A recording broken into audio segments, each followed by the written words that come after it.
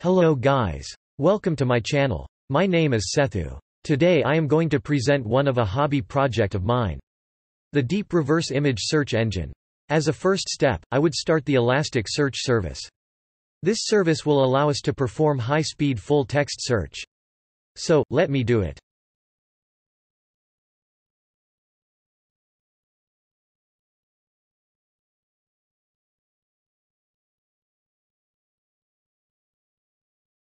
As a second step, I will now launch my Flask server.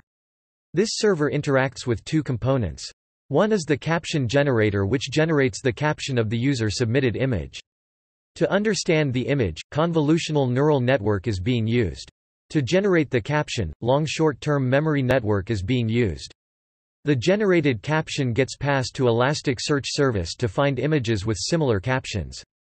So, let me start the server.py now.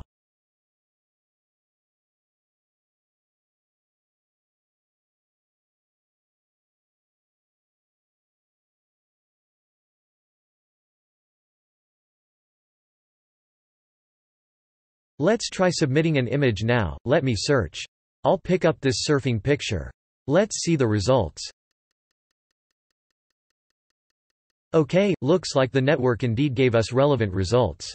Now let's try with some other picture. Satisfactory results. The code is available in GitHub. If you like the project, do let me know in the comments. If you don't like, well, then too do let me know in the comments. That's about it. Thanks for watching.